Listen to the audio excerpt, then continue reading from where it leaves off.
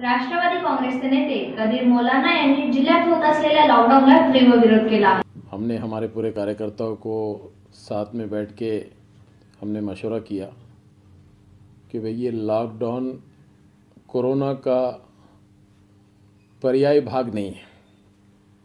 इससे पहले छः महीने हमने लॉकडाउन में काम किए। लोगों के सब मसाइल हमको देखने के लिए सामने आए। जो परेशानियाँ लॉकडाउन के अंदर में हुई, हमने खुद बजाबते रोड पे खड़े रह के लोगों के हालात को देखा। ये औरंगाबाद शहर में एक बड़ा तबका गुर्बत से जूझ रहा है। पहले तो नोटबंदी की मार, उसके बाद फिर ये लॉकडाउन छोटे मोटे कारोबार करने वालों की जो दशा, जो व्यवस्था हो जाती है, वो नाकाबिल बर्दाश्त होती है और वो मुश्किल ऐसी घड़ी है कि वो हम उसको बर्दाश्त नहीं कर सकते ऐसे हालात है। तो मैं आज कलेक्टर साहब को फ़ोन पर बात किया हूँ। सुबह का टाइम मैंने उनका लिया हूँ। और मैं जो बात आपसे कह रहा हूँ, वही बात उनको भी जाके कहने वाला हूँ।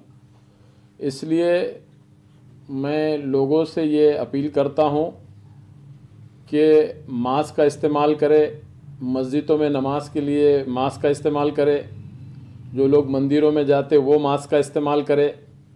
जो जहाँ गर्दी का इलाक़ा है या हजूम होता है, ख़ास करके सोशल डिस्टेंसिंग और मास्क का इस्तेमाल हम करें।